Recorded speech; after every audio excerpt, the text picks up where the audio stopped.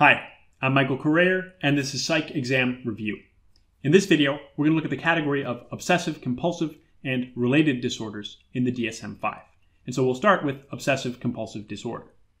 And obsessive compulsive disorder, or OCD, has two main characteristic symptoms, and these are obsessions and compulsions. So obsessions refers to recurrent, unwanted, and intrusive thoughts that the patient keeps having. And compulsions refers to repetitive behaviors that the patient keeps engaging in. So the obsessions that are common in OCD are thoughts related to contamination, like feeling that one's hands are contaminated and need to be cleaned, or fears about harming others, that if, if the person doesn't do something, then loved ones will be harmed or even killed, or thoughts related to the need for symmetry and balance. And the estimated prevalence in the DSM 5 for OCD is about 2%, and it's roughly equal for males and females. And it's often comorbid with depression. Now, another part of OCD is that the patients who suffer from this often know that their compulsions are irrational.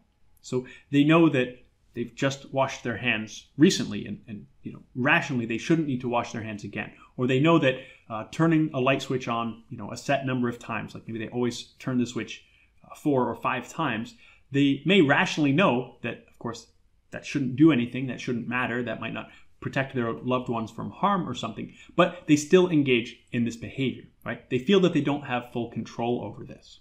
And so, one way we could think about this is to imagine a thought that you may have had before that your hands are contaminated. This is something we've all experienced before.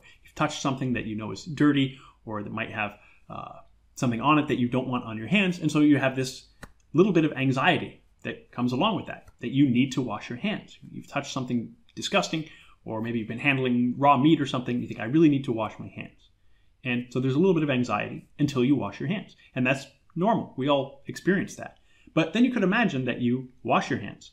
And very soon after you've washed your hands, that thought comes back that your hands are still contaminated, that maybe you didn't do a good job cleaning them, or maybe uh, maybe they're actually contaminated again.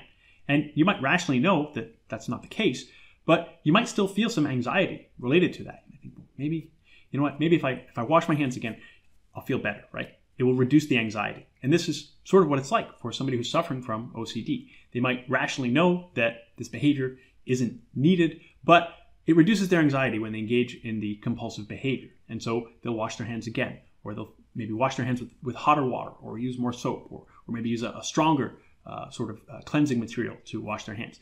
And what happens is they keep having this anxiety come back. Similarly, we all have some experience of you know wondering whether we left the iron on or, or the oven when we're, we're out. You know, we think, did I, you know, did I leave that on? And this causes a little bit of anxiety. And, uh, you know, maybe we check, you know, you're on your way out the door and you think, I should probably check the oven or, or maybe I need to, uh, unplug the curling iron or something that might be dangerous, and you check. And then you could imagine, just as you left, if that thought came back, you know, well, I know I just checked, but did I turn it off? Or maybe I accidentally turned it back on, right? And that might cause even more anxiety. And so you could see how it's possible for somebody to get stuck in these sort of loops where they're feeling anxiety related to this obsessive thought, and they're not really feeling in control of the thought. It's intrusive, right? It keeps coming back to them, even though they rationally know that they just did something that should take care of it. Um, and I hope that gives you a little bit more insight into what it's like to suffer from this disorder. Okay, so uh, let's look at another disorder in this category, and this is hoarding disorder. This is another uh, disorder like OCD that's uh, that gets some exposure in popular media. You may have heard of this or seen TV shows uh, showing people with hoarding disorder. And this used to be considered a type of obsessive compulsive disorder in the DSM 4, but in the DSM 5, it was now given its own uh, disorder label. So it's not considered to be a type of OCD anymore. And this refers to a difficulty parting with personal possessions, even if they're worthless. So uh, somebody is hoarding uh, lots of items and they experience a great deal of uh, anxiety or stress uh, in trying to part with those items. Now, it's important to note that this difficulty in parting with possessions is not due to obsessive thoughts, it's not due to brain injury or autism or a lack of energy. So if somebody feels they just don't have the energy to you know, clean out the attic or something, or, or clean out uh, their living space, then that wouldn't necessarily be considered to be hoarding disorder.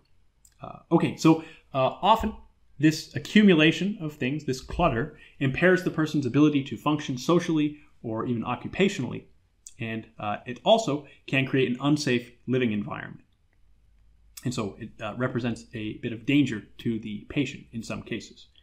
Now, in most cases, about 80 to 90% of people who have hoarding disorder show what's called excessive acquisition. That means that they will acquire things that they do not have space for, that they cannot uh, possibly fit into their home. So often there will be uh, very little space uh, where they're living and just you know packed to the ceiling with, with piles of things that they just can't bring themselves to give away. It causes a great deal of anxiety for them to try to part with these possessions.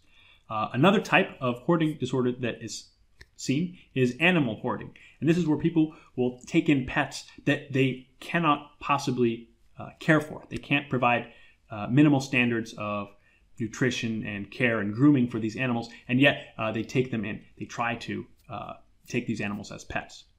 Now, the estimated prevalence for hoarding disorder is about 2 to 6%, and it's also uh, roughly equal between males and females, although it's much more common in older populations. So it's three times more common in people uh, in the age range of 55 to 94. And in 75% of cases of hoarding disorder, we see that it's comorbid with a mood disorder like depression or an anxiety disorder. Okay, so the last disorder that we'll look at in the obsessive compulsive and related disorders category is called body dysmorphic disorder. And this was formerly known as dysmorphophobia, but now it has this uh, new label, body dysmorphic disorder. And this refers to a preoccupation with perceived flaws or defects in one's physical appearance. And it's important that these flaws or defects are things that are very slight. They're often not noticeable to others. So this is not the case where somebody is uh, actually has uh, some disfigurement or some, some terrible scarring or something. But they have some minor flaw, but they are preoccupied with this. They can't stop thinking about it. And so uh, often this is in the form of skin issues like scars or wrinkles, um, but it can apply to other aspects of physical appearance, hair, teeth, facial features, or areas of the body. And some of the symptoms of body dysmorphic disorder include intrusive thoughts related to this perceived flaw. So the person keeps thinking about this. Right? They have these unwanted and recurrent thoughts about this uh, flaw. And they also might have some repetitive behaviors. And so these could include things like constantly checking a mirror to uh, look at this perceived flaw and see how it looks, or uh, uh, re- repetitive grooming behaviors that are designed to maybe hide this flaw or conceal it, or constant reassurance seeking, where they might uh, repeatedly be asking uh, friends or family or loved ones about this flaw and how it looks, and you know, is it noticeable in this condition or is it noticeable in this lighting or something like that. Uh, and patients who receive this diagnosis also often have distorted thoughts about this perceived flaw. So they might uh, have this tendency to exaggerate or catastrophize uh, this perceived flaw by saying that they feel that they're deformed, or you know, in the extreme cases that you know, I'm a monster right? I'm, I'm hideous to look at because of this uh, minor uh, flaw. Now, the estimated prevalence of body dysmorphic disorder is about 2.4% in the United States, and it's slightly more common in females than males. Now, you might expect that this uh, body dysmorphic disorder would be uh, very common in people who are seeking cosmetic surgery. But the estimate in the DSM 5 is that only about 7 to 8% of people who undergo cosmetic surgery actually meet the di- diagnostic criteria for this body dysmorphic disorder. So that suggests that many people who are seeking or have had cosmetic surgery are not uh, going to meet the diagnosis for this body dysmorphic disorder. And uh, it's often comorbid with major depressive disorder. Okay, so those are a few disorders in the obsessive compulsive and related disorders category of the DSM 5. I hope you found this helpful. If so, please like the video and subscribe to the channel for more. Thanks for watching.